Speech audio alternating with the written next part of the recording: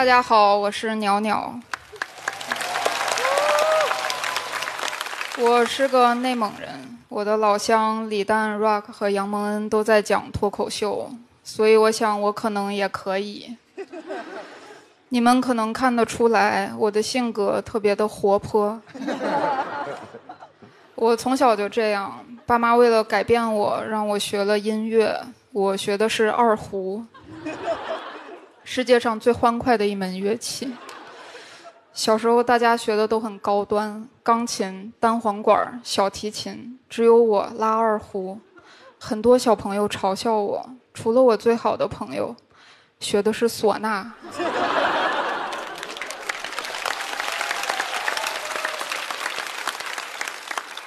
我们立志，等我们长大了五六十岁，就在公园里组一支乐队，把那帮学钢琴的送走。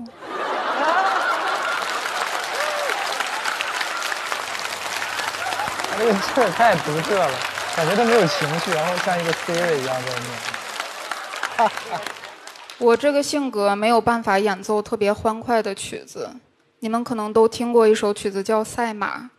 别人拉赛马，就让你觉得那些马都活力四射、热爱比赛；我拉赛马，就让人觉得那些马比什么赛呢？每匹马都是要死的。由于我性格比较内向，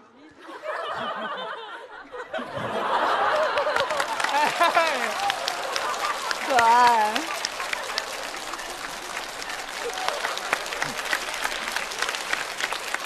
由于我性格比较内向，所以我常常没有什么存在感。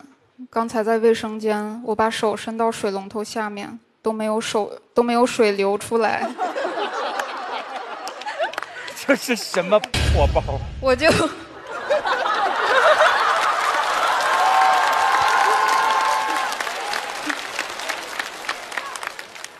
我想我早该习惯这种被忽略的挫败了。然后这时候旁边有个人把开关搬起来，水流出来了。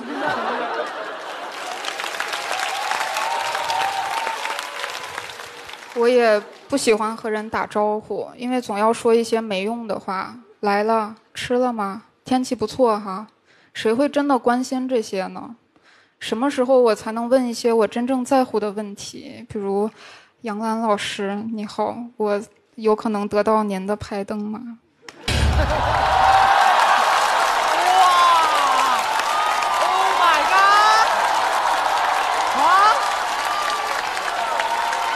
他那个有危险，我感觉可能会被这种怪物打走。在跟脱口秀，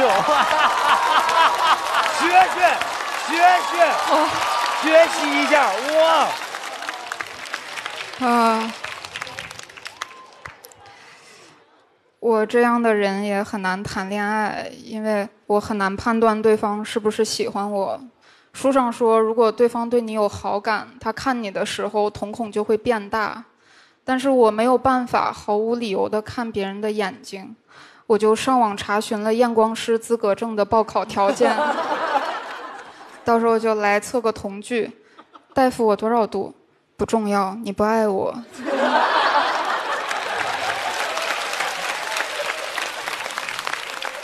有本书叫《内向者优势》，它安慰到我了。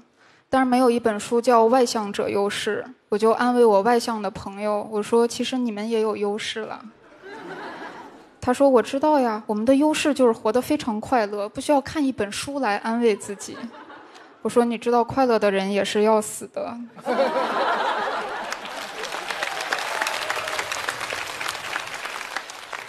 我特别在意别人的看法，甚至超过我个人的感受。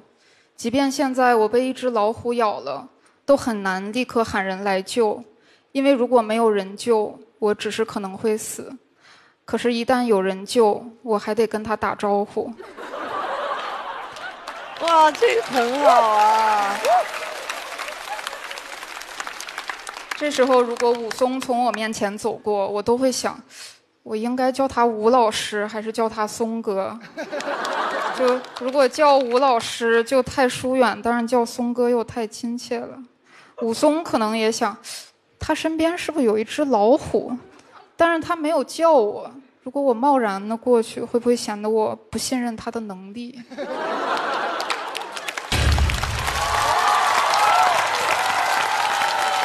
坤儿哥有点危险，二哥相当危险。非常危险，这个。好像就我会打老虎似的。老虎可能也想，为什么突然这么尴尬？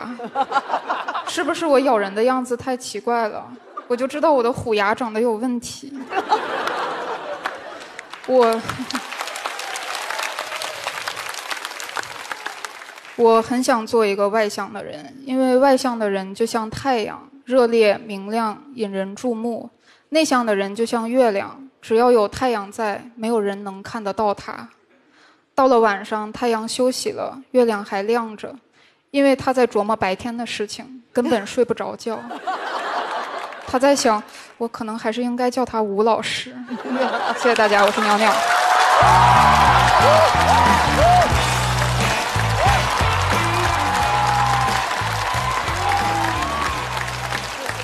真棒！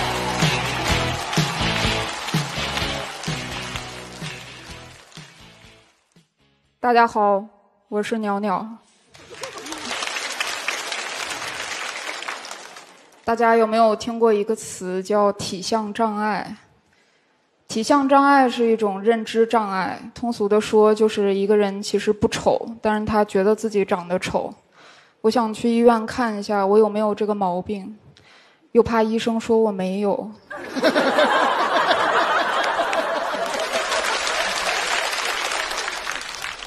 理发师总是建议我剪一种发型，就是前面一个刘海儿，两边也剪短，修饰脸型。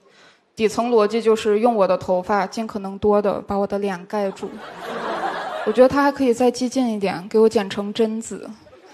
我觉得贞子可能也只是一个自卑的女生，就这么打扮是她的一种防御手段，用来安慰自己。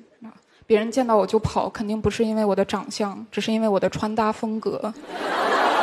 从小就知道我长得挺普通的，因为我妈天天跟我说：“女儿啊，你得好好学习，女人不能要一头没一头。”我后来就只好考上了北大。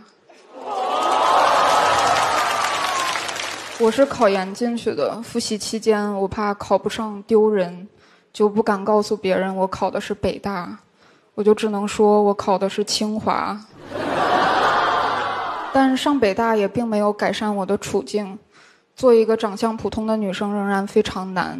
就是你好像做什么都不对，你不打扮吧，人家说没有丑女人，只有懒女人。在这句话出现之前，我只是一个单纯的丑女人。你要做什么坏事儿，人家就说真是相由心生。你要与人为善吧，就会夸你真是人不可貌相。我要说我觉得自己挺好看的，那你得有点自知之明。我要说我觉得自己不好看，那你得接纳自己。还有大家平时晒的图片也都太好看了，什么时候能晒一些既彰显个性又不涉及美丑的东西，比如指纹？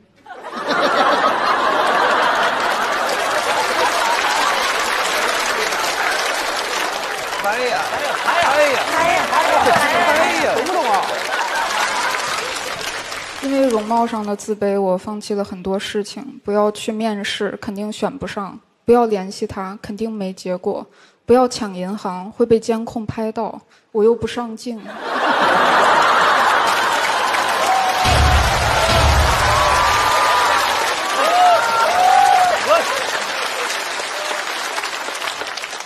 但长成我这样也不是完全没有好处。我经常示弱、撒娇，未经允许就吃男生的冰激凌，但从来没有一个人说我是绿茶。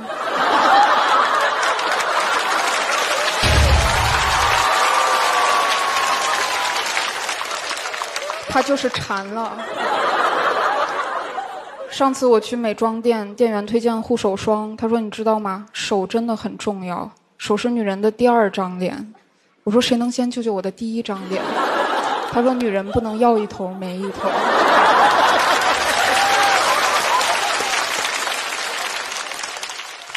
世界对普通人来说是很现实的，就是你必须具备功能才有存在的价值，但美人只需要存在就可以了。你不会见到一个人说这个花瓶保温吗？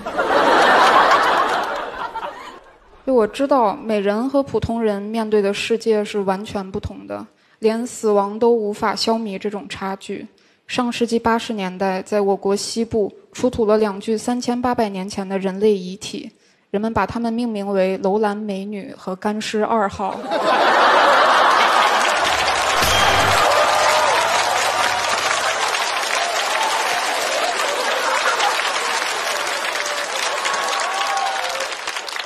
这事儿其实是我编的，但你们是不是觉得特别合理？就我觉得我们普通人平时可能太低调了，就我们总是想我这样的就不发自拍了吧，这就造成了幸存者偏差，使得网上都是美女的照片，让大家觉得美女才是正常的。我觉得我们也应该多在朋友圈发一些原始的自拍，让美女无地自容。我相信，只要我们团结起来，勇于展示自己，总有一天，人们都会关闭朋友圈的。谢谢大家，我是鸟鸟。大家好，我是鸟鸟。我出生的时候，我爸在产房外，觉得孩子哭声这么大，肯定是个男孩儿。看到我是个女孩儿，我爸的哭声比我还大。我当时就想，我爸哭声这么大，肯定是个男孩儿。女生总是会受到和男生不同的评价。我遇到过一个老师，如果男生数学考了一百分，他就会说男生就是聪明；女生数学考了一百分，他就会说女生也有聪明的。有一次，我就站起来，我说：“老师，您这个话说的不对。”老师说：“你考了多少分？”我就又坐下了。女生不只有聪明的，还有鲁莽的。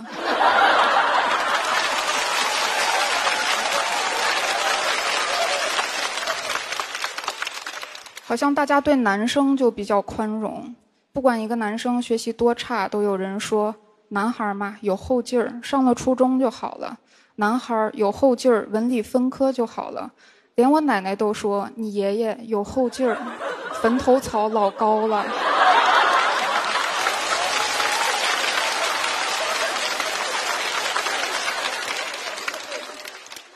我看到一则新闻：深圳一名女性离婚后得到三十二套房。哇哦！我也想和她老公离婚。我再一查，这名女性婚前有六十四套房。因为总是被和男性比较，我就特别想证明自己。甚至每次我和男生一起过地铁闸机，如果我比较快，我都会 yes。可是跑这么快又有什么用呢？到最后，别人眼里我最伟大的成就还是成为一个妈妈。当妈妈太难了，因为可能会养出一个妈宝。妈宝呢有男有女，在这里为了方便，我们就姑且称他为妈宝男吧。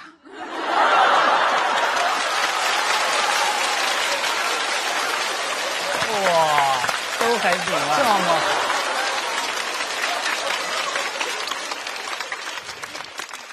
妈宝男这个群体非常奇怪，就他明明没有犯法，但你总想制裁他。一个成年人总是把妈妈挂在嘴边，你说他是怎么被教育出来的？是不是他妈妈天天对他说：“孩子，以后在外面提我好使。”那我们应该怎么鉴别妈宝男呢？我觉得你就可以直接问：“你是妈宝男吗？”我不是。你为啥不是？我妈说我不是。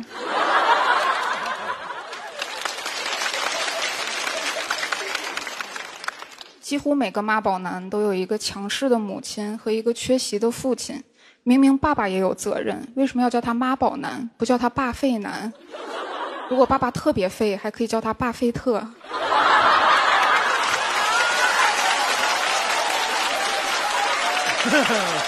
鼓励一下。而且，即便妈妈当得好，又能怎么样呢？能把孩子当成自己的作品吗？每次我妈跟我说“你就是我最好的作品”，我都说“妈，你这就有点物化女性了”。我希望在未来，妈妈这个职业可以有更为科学的晋升机制。就是如果我拿了全国奥赛金奖，那么我的妈妈可以有机会跳槽，成为易烊千玺的妈妈。易烊千玺拿了表演类的奖项，那么易烊千玺的妈妈可以得到晋升，成为易烊千玺的爸爸，实现真正的自由。谢谢大家，我是鸟鸟。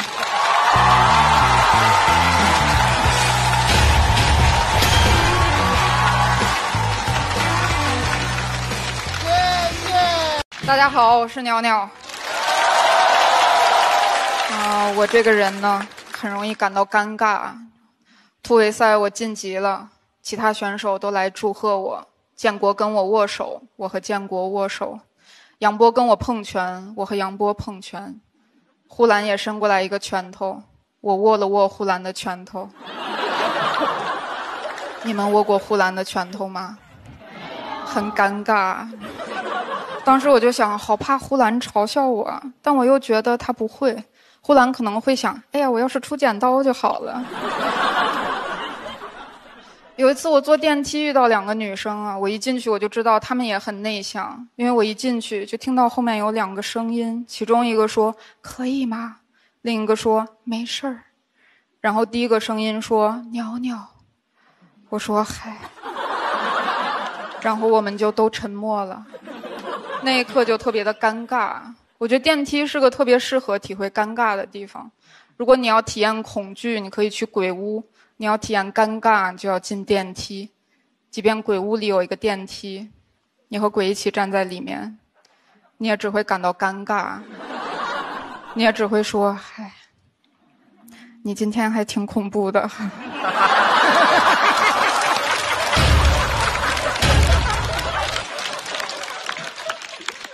我也很怕坐别人的电动车，因为我不知道该抓哪里。有一次我坐中介后面，就只能抓他衬衣的两边，他衬衣又很紧，就很难抓。他车又开得很急，我就说不好意思，您能开得稳点吗？他说你能不挠我了吗？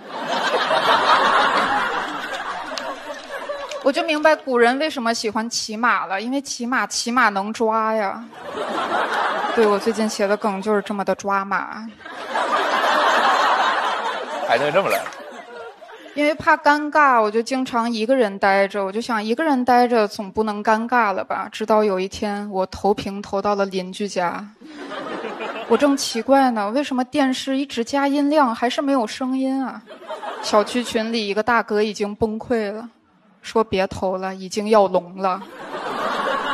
他还在群里发了我电脑桌面的截图，那一刻我就明白什么是精神走光。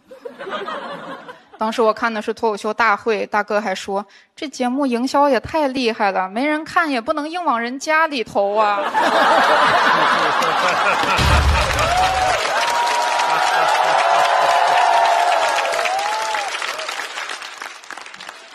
你知道，原来只要你是一个尴尬人啊，独自在家也是可以尴尬的。我就很羡慕那些大爷大娘，他们就不太会尴尬，他们很自我。他们可以旁若无人，在公园里撞树、跳舞，和老姐妹们摆成一个五角星。因为他们用五六十年明白一个道理，就是世界上绝大部分人的想法都不重要，人应该只在意那些最重要的人，配偶啊、子女啊、广场舞的舞伴儿啊。我觉得他们活得比年轻人更平和、更洒脱、更明白人生的意义。我就希望我也能早点到达这种境界，到时候我就不怕社会性死亡了，我甚至可以社会性找死。我就跟中介说，觉得痒痒吗？忍着。跟邻居大哥说，给我把会员充了。跟呼兰说，别装酷了，把手张开，我来出剪刀。我不想再内向了，我甚至要变得非常聒噪，让邻居都忍不住说：“鸟鸟，不要再叽叽喳喳了，叫你鸟鸟不是让你真的变成鸟啊。”总之，最后呢，希望大家都能活得更轻松，少一点尴尬，多一些自在。谢谢大家，我是鸟鸟。大家好，我是鸟鸟。啊，谢谢谢谢啊。啊，愿你快乐不止五分钟哈，一个美好的祝愿。但大部分人一辈子要活两万多天，所以五分钟是其中的五百七十六万分之一。祝福如果过于保守呢，就不如不祝福。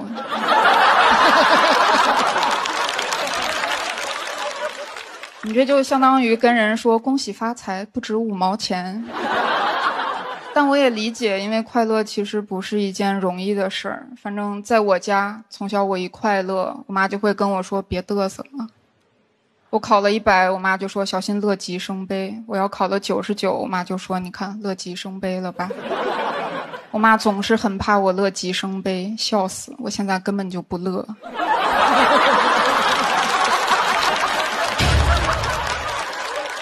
我平时的生活状态只有三种：中杯、大杯、超大杯。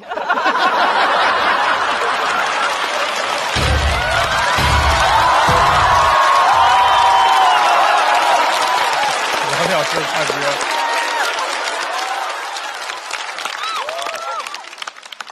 甚至接受夸奖我都很难开心，因为我更习惯于接受批评。现在看到网上有人说“鸟鸟，妈妈爱你”，我就觉得哎呀，都会过去的。看到网上说“养鸟的表演太差了”，我就觉得啊，妈妈爱我。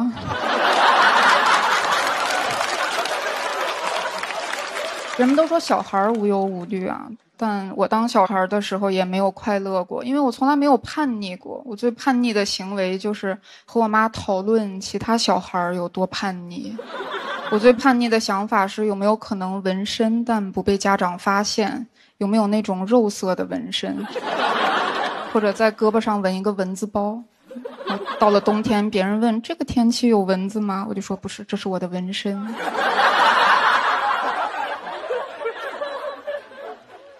我都想过能不能跟纹身师商量一下，就是我给你钱，你给我纹身，但是纹到你自己身上。然后我想跟同学炫耀的时候呢，你就过来一趟。总之，我从小是个比较中规中矩的人，长大了也比较内向。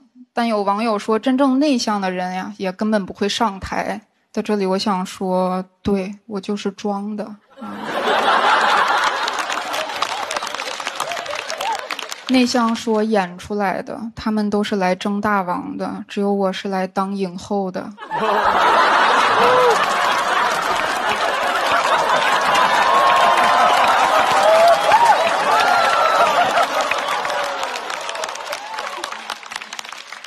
为了装内向，我说一句话总是最后两个字声音特别小。别人问我中午吃了啥，我说我中午吃了烤冷面。他说啥？我说我中午吃了烤冷面。虽然他吓了一跳，但还是不知道我中午吃了啥。我用这个方法迷倒了很多人。我这不是真正的内向，我这是科技与狠活呀，哥们儿。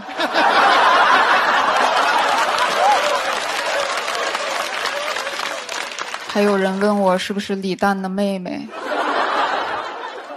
说我是不是李鸟哈，我真是奇了怪了。我要真是他妹妹，为什么他不能跟我姓，叫他鸟蛋？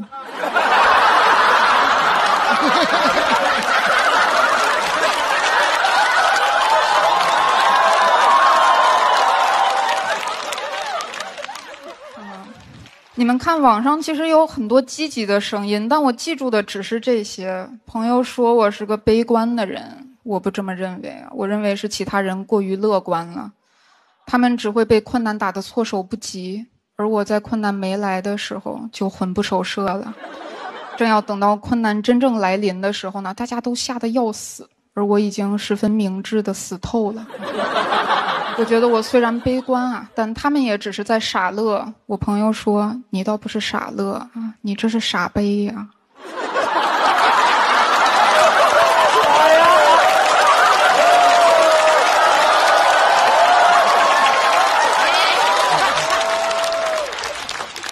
在我这种悲观的人眼里啊。快乐基本也就两种情况啊，一种是应该干啥但不用干了，或者不应该干啥但干了。我是说在合法的前提下，比如说现在你觉得应该给别人投票，但你没投，或者你觉得不应该给我投票，但你投了，你就会觉得快乐。不但你们快乐，我也会感到快乐。我最快乐的时候其实是闹钟响了，但我把它按掉。但我选择的是五分钟后提醒我，这五分钟是最快乐的。所以快乐其实很简单，只要你上班可以迟到十分钟，你就可以快乐不止五分钟。所以最后希望大家凡事都往好处想，尽量傻乐，不要傻悲。谢谢大家，我是鸟鸟。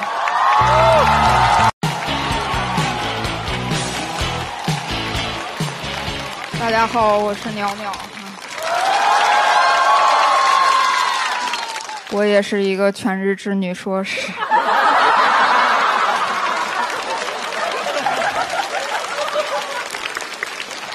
我之前一个人在上海居家了两个月，怎么说呢？我现在特别热爱社交，因为一个人居家真的非常难熬。我之前完全不会做饭，有人问我说：“你一个女孩子，难道之前没玩过厨房玩具，没玩过过家家吗？”我也玩过家家哈，但因为我从小就话少又懒得动呢，我都是演爸爸。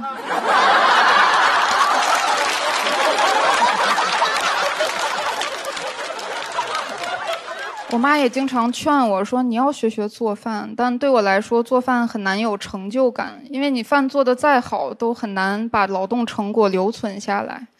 我妈说：“但几年前还出土了几个魏晋南北朝的饺子。”我说：“那你有没有想过，如果它好吃的话呢？当初根本就不会被剩下来。”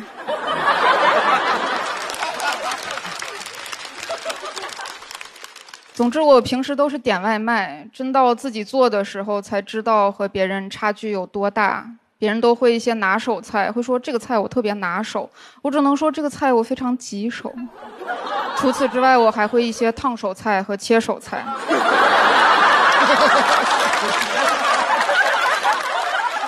除了操作上的困难，我还缺乏常识。我在家用平底锅小心翼翼地做了一周的炒鸡蛋，才发现要做一个成型的鸡蛋饼呢，是要加面粉的。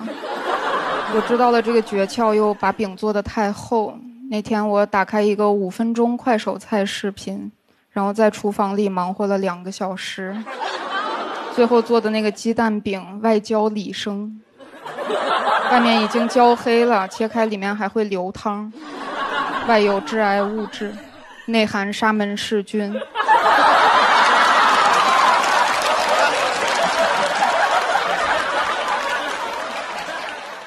我的朋友听闻了我的事迹呢，都说我是绝命厨师。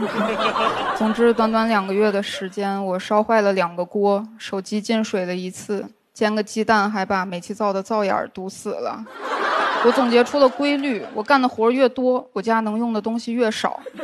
我的朋友都很担心我，说你小心点，别把家给点了。我说放心吧，灶眼已经堵死了。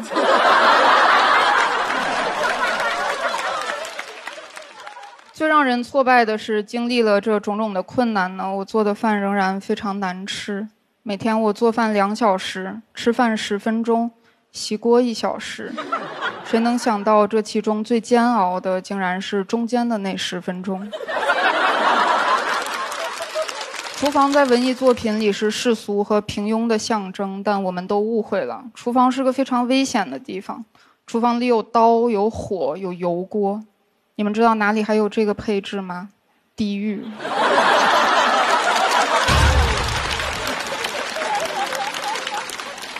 这也就是我对厨房的感受，我也理解了为什么大家去这两个地方用的动词都是同一个。所以当别人问我你下厨房吗，我都会说我下地狱。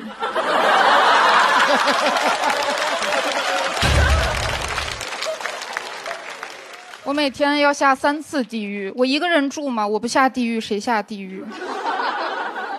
我才做了几天饭就崩溃了，我又一想，妈妈做了二十多年的饭。我心里现在想起来就会觉得很崇敬。有人问我说：“那你现在一定很想吃到妈妈做的饭吧？”那倒也没有，我妈做的饭也不好吃。我在上海还要给我爸点外卖呢。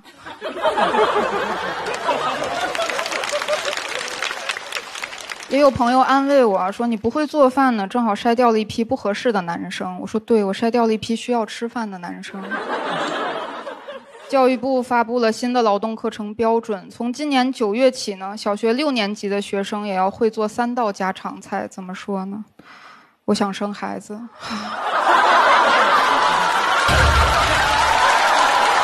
开始三毛，行吗？你们也知道我们的比赛压力很大，所以我昨天请了几个演员朋友哈去我家吃饭，时间应该也差不多。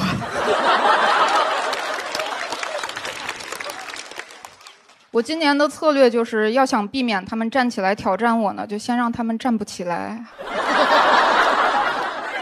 我来之前还想我的稿子里有地狱，会不会太沉重了呢？但今天看到这个舞台，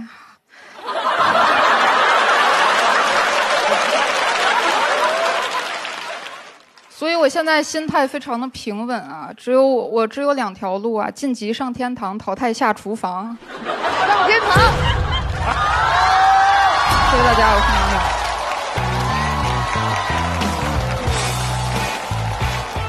大家好，我是鸟鸟。我也是在上海租房住哈，租房很麻烦，因为要去看很多房子。有时候上一个租客还没有搬走，我进去就要强装镇定，像一个视察的领导，说：“啊，柜门好用吗？啊，卫生间水压正常吗？行行，好住就行。你住吧，啊，我租不起。”但所有的房子啊，你不到真住进去的时候，都发现不了它的问题。比如说，我现在的房子住进去才发现，每天下午两点呢，都有成群的小孩在下面玩闹、喊叫。谁能想到，我花几千块在城市，竟然能租到海景房？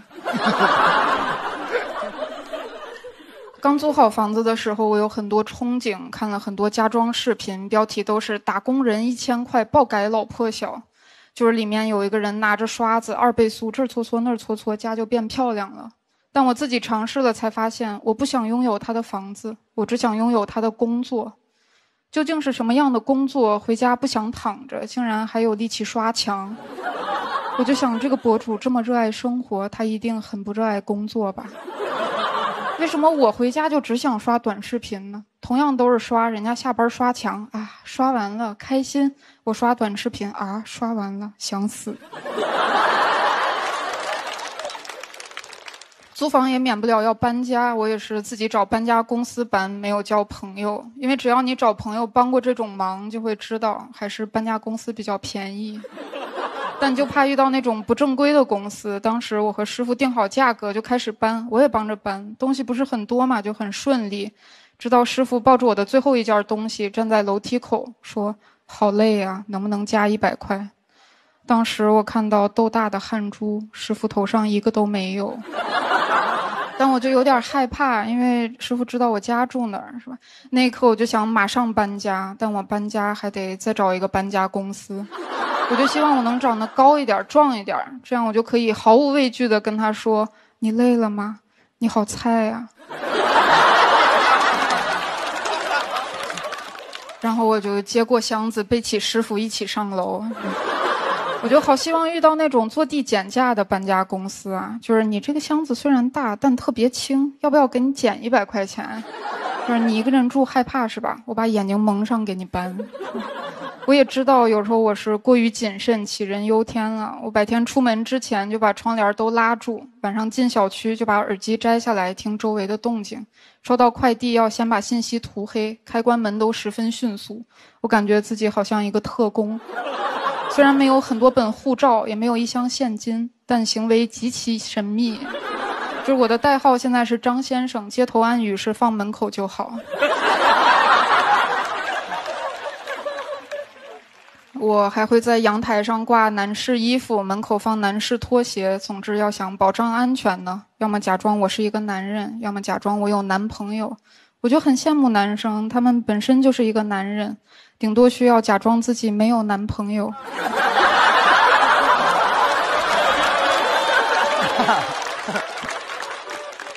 当然，常年挂着男生的衣服呢，我自己也会试着穿一下，就真的很宽松、很舒服。有一次，邻居就问我说：“为什么总见你穿男朋友的衣服，但从没见过你男朋友啊？”我就需要一个机智的回答，我说：“啊，因为我男朋友进去了，啊，我公安局的亲戚抓的。”然后这句话就包含很多信息，你知道第一，我男朋友不好惹；第二，我在公安局有亲戚。第三，我连男朋友都弄进去了，说明最不好惹的其实是我。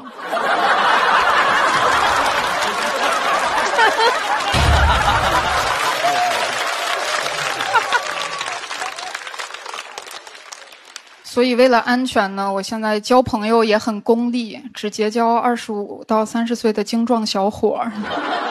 就是如果谁能正好穿上我放在门口的鞋，谁就是我的真命天子。小北听完我的处境，义愤填膺，说一定要帮助我，就是愿意给我两双他的旧鞋。可能这就是脱口秀演员吧，解决不了问题，只会瞎幽默。谢谢大家，我是鸟鸟。大家好，我是鸟鸟。啊，前几天我去拍了个时尚杂志。是的，时尚圈已经找不到人了。服装老师会频繁的给我调整衣服，每次来他都会悄悄跟我说吸吸肚子，吸吸肚子，而我都会告诉他已经在吸了。很多时候就是这样，你以为我在躺，其实我已经在卷了。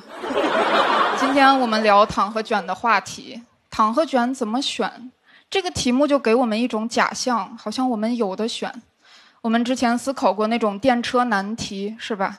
一条铁轨上躺着五个人，一条铁轨上躺着一个人。问如果是你，火车该往哪儿开，是吧？但真到了社会上，我才知道，我决定不了火车往哪儿开。因为我就躺在铁轨上，我们这些脱口秀演员都躺在铁轨上，只有李诞在开火车。他想压谁就压谁，我们被李诞压，李诞被网友骂。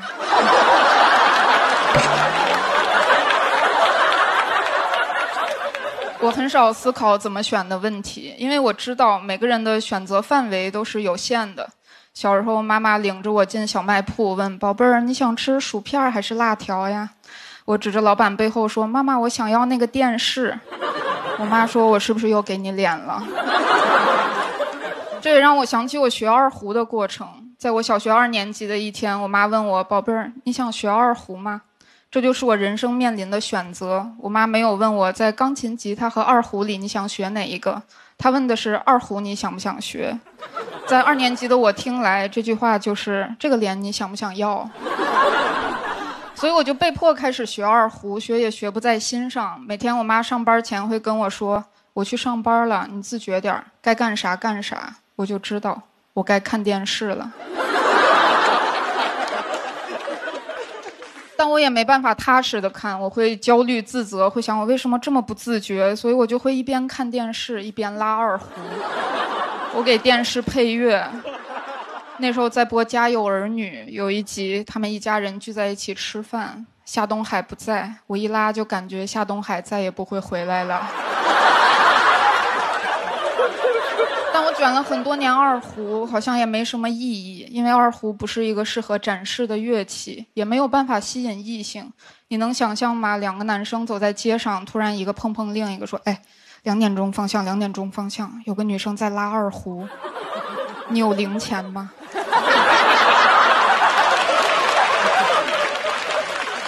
除了拉二胡，我也卷学习。拉二胡和做题，这就是儿时的我能为人生所做的全部准备。所以现在我的思维很简单，就是遇到困难就想刷题。包括参加脱口秀大会，我也总想，如果有一套真题刷一刷就好了。最好有一本五年大会三年模拟。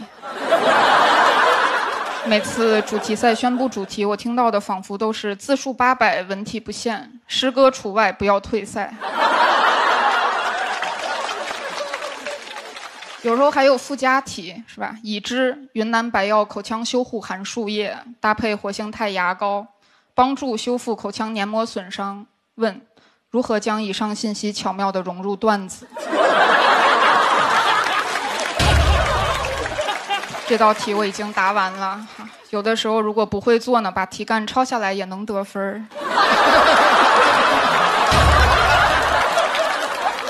但我到社会上才发现，会做题也没有用，因为很多人生最重要的问题，参考答案都是略。我和他能长久吗？略。我这么加班真的值得吗？略，我的人生能获得真正的幸福吗？略，我就感觉生活在嘲讽我，好像他说你想知道答案吗？就不告诉你。略略略略略。躺和卷怎么选？我每次坐飞机都会纠结这个问题。我每次上飞机都会既带着 U 型枕，又抱着笔记本，低头写稿会想不行不行，颈椎要完了；躺着睡觉会想不行不行，工作要完了。我这个人就是躺的时候想卷，卷的时候想躺，永远年轻，永远左右为难，一切都是最不好的安排。所以你要是让我选呢，我会选躺；但如果实在让我卷呢，我也服从生活的调剂。我希望有一天，我对生活的态度能像生活对我的态度一样，就是六六六六六。谢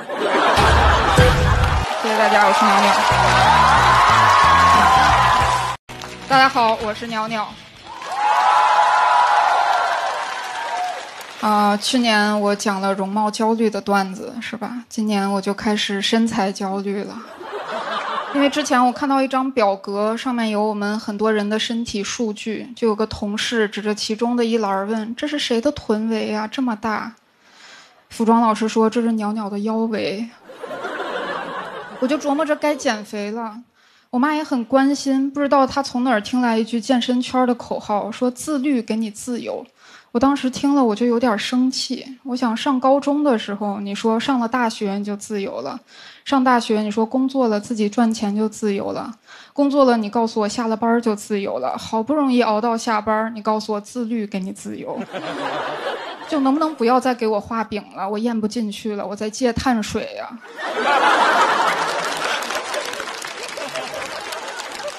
我说我一个搞脱口秀的，我不靠脸吃饭是吧？我平时的工作就是搞创作。我妈说创作怎么了？很多作家也都在健身呀。你看人家海明威是吧？茨威格。我说妈妈，你是真的会举例子，死的比这俩惨的作家都不多呀。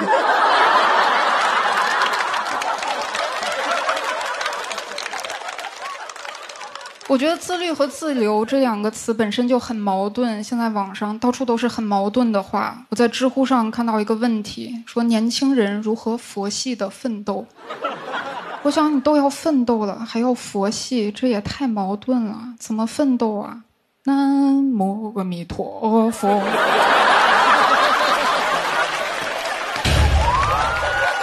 我觉得“自律给你自由”这句话，它真正想表达的是好身材能吸引异性，健身有助于求偶。所以想到这里，我就去健身房了。我是为了去吸呃，我去 积累素材。我早就知道健身房是当代著名的消费陷阱。果然一进去，就有一个教练要给我卖课。他说：“你的体态有问题。”我说：“对，我圆肩驼背，骨盆前倾。”还有膝超伸的问题，整个人看起来没有自信，再不健身就完了。教练说：“啊，你也学过 PUA 呀？”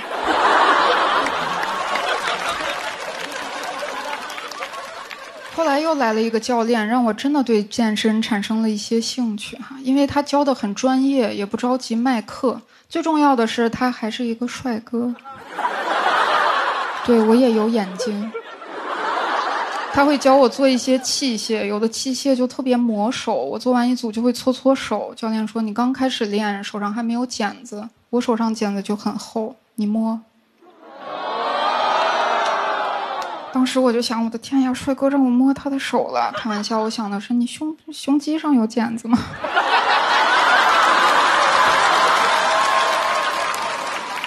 然后就摸了嘛，就买了一万块钱的课。有的时候你明知那是消费陷阱，但是当陷阱里站着一个帅哥的时候，你只会感到喜悦，你只会想太好了，天上掉陷阱了。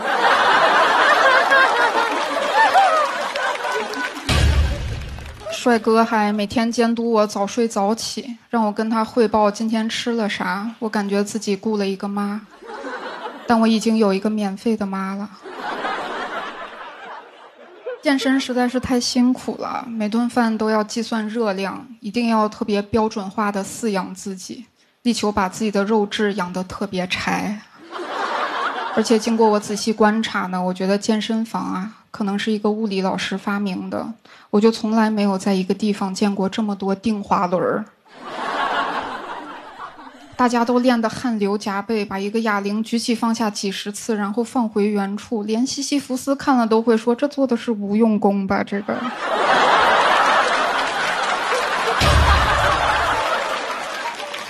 最怕的是你刚努力了两个月，好不容易有点成效，结果遇到一个好久不见的老朋友，见你第一句话就是“你是不是胖了？”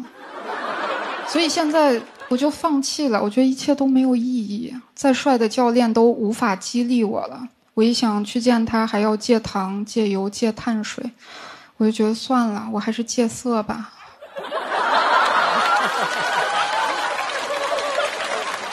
自打办了健身卡，身体没有变健康，灵魂得到了升华。我现在饮食特别油腻，内心十分纯净。我也理解了自律给你自由的真正含义，就是只要我自律的不去想胸肌，我就可以自由的吃炸鸡。谢谢大家，我是尿尿。